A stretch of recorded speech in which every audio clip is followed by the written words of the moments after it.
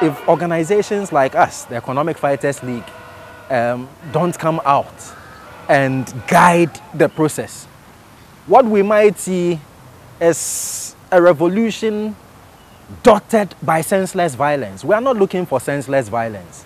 We are looking for the problems to be resolved. We want water, we want education, we want infrastructure, we want, we want things to work.